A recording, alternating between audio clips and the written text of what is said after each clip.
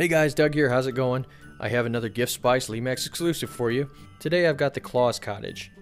I also have two accessories here. Uh, like I've been doing, we're going to keep adding to our display, and these are also Gift Spice exclusives uh, from this year. Uh, the Merry Mailbox and Under the Mistletoe.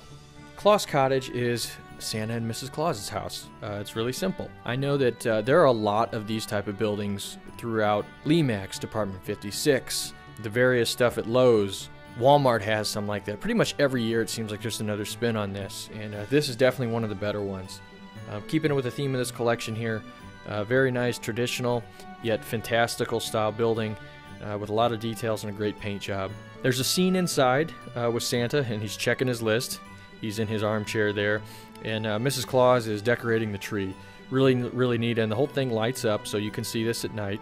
The detail in the house is very nice. Um, it's a cobblestone style cottage and uh, you can see that there's actually textured, you know, cobblestone and brick. Uh, really, really nice touches to it. Uh, on the outside, there's also a traditional style sack with toys in it, and you can see a teddy bear sticking out and some wrap presents. Also, firewood on the side. Uh, it's a very cozy, you know, style cottage.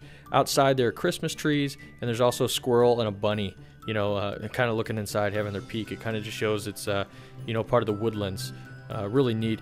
Uh, like the other buildings um, that I've been reviewing here in the series, you can either put uh, three AA's underneath it, or you can use a Lemax power adapter. I chose to use a power adapter here, just so I don't keep going through batteries. But it's nice to have the option in pieces. I'm, I'm a big fan of, uh, you know, letting you choose.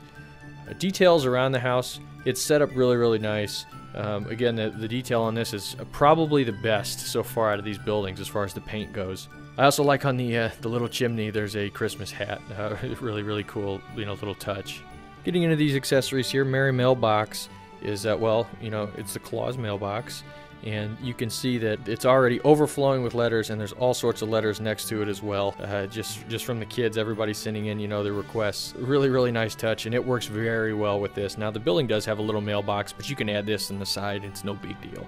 Uh, this one's more pronounced you know bigger and uh, the actual mailbox itself is you know candy cane styled. I, I, I, really like that one. Then you have the under the mistletoe which is a simple pair of figures. This is uh, you know santa and mrs claus he's holding a little thing of mistletoe and they're about to give each other a kiss so uh, pretty cute little piece and you can add these anywhere of course, this figure you don't have to use in the Santa's Wonderland. You could put it in any kind of display and it would look great. Now, as you can see our display here, it's really coming to life. We've got these three buildings here you know, the hot springs off to the side, and all these accessories, you know, mixed in with the trees. I'm really excited for how this is coming together. It's looking like a very cool North Pole scene.